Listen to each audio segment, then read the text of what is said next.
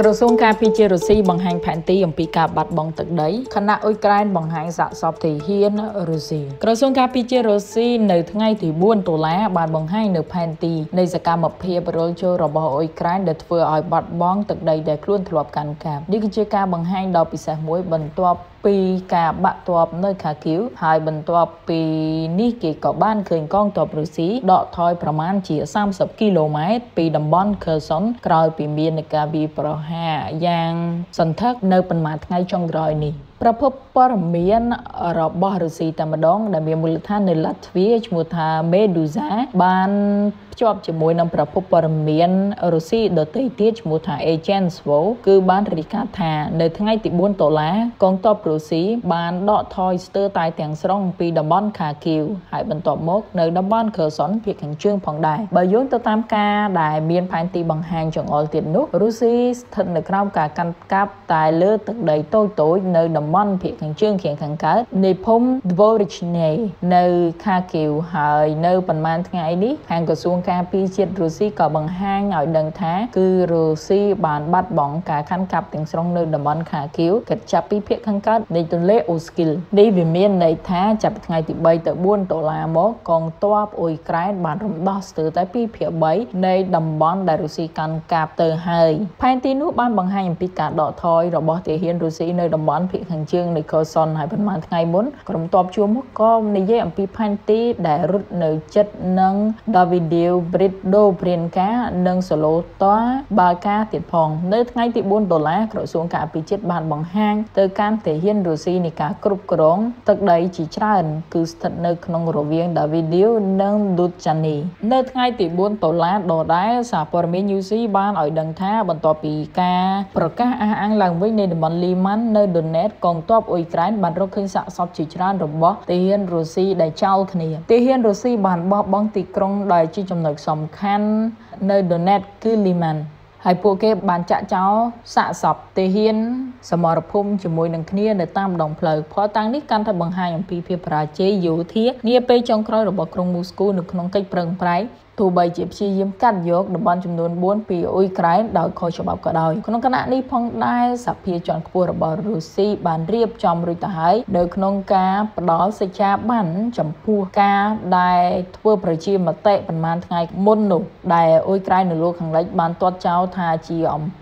ឆបោកដ៏គួរឲ្យអៀនខ្មាស់ជាការឆ្លើយតបចំពោះចលនានេះប្រធានាធិបតី Volodymyr Zelensky បានប្រកាសអំពីការដែលមិនមានលទ្ធភាពនៅក្នុងការចរចានឹងរុស្ស៊ីនោះទេហើយប្រកាសថាការចរចាជាមួយនឹងរុស្ស៊ីលូត្រាតែប្រធានាធិបតី Vladimir Putin គឺលែងមានបន្ទាប់ពីការសម្រេចចិត្តនៅក្នុងការយកតំបន់នេះមានក្រុមឡើងបានឆ្លើយតបដោយនិយាយថាគេនឹងរងចាំពីអ៊ុយក្រែននៅក្នុងការអង្គុយចរចាដោយក៏សម្គាល់ថាវាអាចនឹងមិនកើតឡើងរហូតតតែប្រធានាធិបតីថ្មីរបស់អ៊ុយក្រែនឡើងកាន់អំណាចផងដែរអ្នកនាំពាក្យនោះគឺ Dimitri Peskov បាននិយាយថាយើងរងចាំប្រធានាធិបតីបន្តធ្វើការផ្លាស់ប្ដូរចលនារបស់ពួកគេដើម្បីអនាគត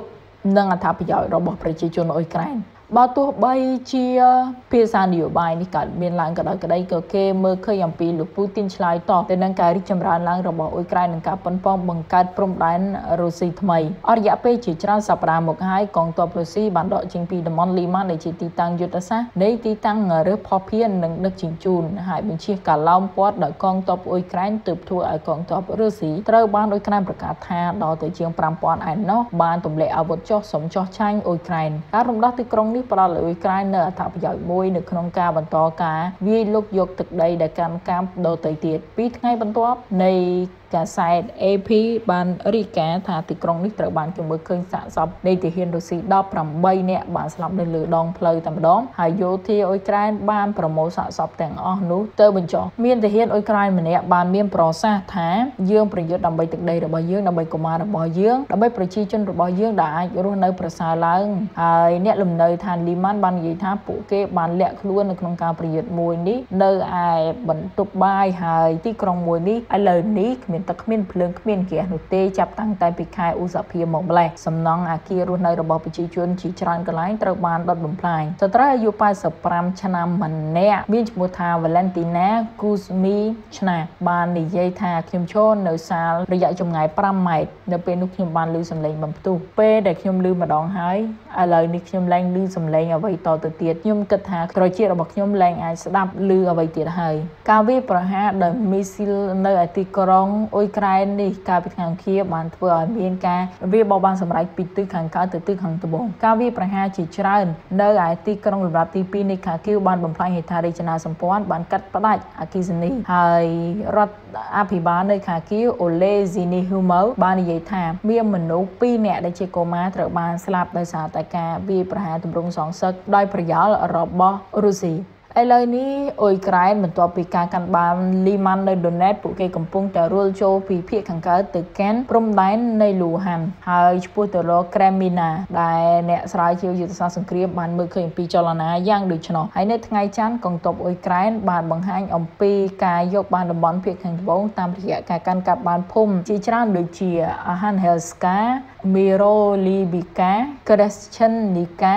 មីខាលីកានិង Novo Vorontsovka ដោយបានដោតទង់ជាតិអ៊ុយក្រែនយ៉ាងខ្ពស់នៅទីតាំងភូមិទាំងអស់នោះនៃអាគារខ្ពស់ខ្ពស់ទៀតផងបើទោះបីជាចលនាកាន់កាប់បានយ៉ាងនេះក៏ដោយក្តីអនុរដ្ឋមន្ត្រីនៃក្រសួងការបរទេសអ៊ុយក្រែនយេហូពេរេជីនីសបានអំពាវនាវឲ្យមានការដាក់ពង្រាយនៅអាវុធជាច្រើនបន្ថែមទៀតមកព្រោះចំពេលដែលរុស្ស៊ីកំពុងតែប្រកាសនិងរៀបចំចលនាកែនទ័ពជាច្រើនហើយអះអាងថាបានរហូតដល់ទៅជា2សែនអ្នកទៅហើយពួកគេកំពុងតែធ្វើការបណ្ដុះបណ្ដាលនិងបញ្ជូនមកកាន់ប្រតិបត្តិការសឹកនៅក្នុងសន្និសីទវីដេអូនៅឯរដ្ឋធានីអង្គការ៉ាគឺលោកអនុរដ្ឋមន្ត្រីនេះបានមានប្រសាសន៍ថាបន្ថែមអាវុធមកទៀតមកព្រោះយើងមិនចង់ឲ្យមានការពង្រីកស្ថានភាព សង្គ្រាមតទៅទៀតនោះទេប៉ុន្តែចំនួនមកវិញយើងចង់ធ្វើដូច្នេះគឺជាការប្រយុទ្ធរកការបិទបញ្ចប់នៃសង្គ្រាមទៅវិញទេលោកអំពាវនាវឲ្យមានច្រើនមកនៃយន្តហោះចម្បាំងយានរំដោះទឹកដីកំភ្លើងធំរយៈចម្ងាយឆ្ងាយផងដែរលោកថាយើងត្រូវការទាំងអស់នេះដើម្បីការពារជនស៊ីវិលហេដ្ឋារចនាសម្ព័ន្ធគន្លឹះពីការវាយប្រហារភេរវ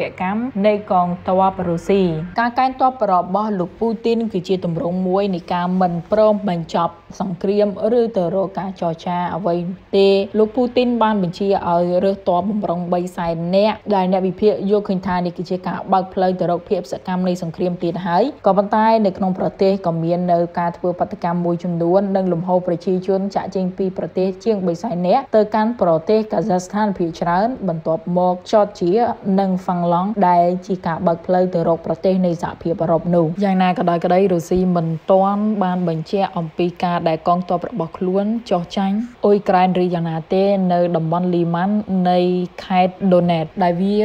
អាចនឹងស្ថិតនៅក្នុងផែនទីនៃការបាត់បង់ទឹកដីដែលធ្លាប់កាន់កាប់របស់រុស្ស៊ីនៅលើអ៊ុយក្រែនចំណែកនៅក្នុងផែនទីនោះដែររុស្ស៊ីក៏មិនទាន់បានបង្ហាញជាលក្ខណៈផ្លូវការរដ្ឋរបស់គេថាតើតំបន់ចំនួន4ដែលទើបតែរៀបចំស្រេចបាច់នៅក្នុងការកាត់យកជាឧបសម្ព័ន្ធនិងអនុម័តដោយសភាហើយនោះជារបស់រុស្ស៊ីនៅឡើយនោះទេ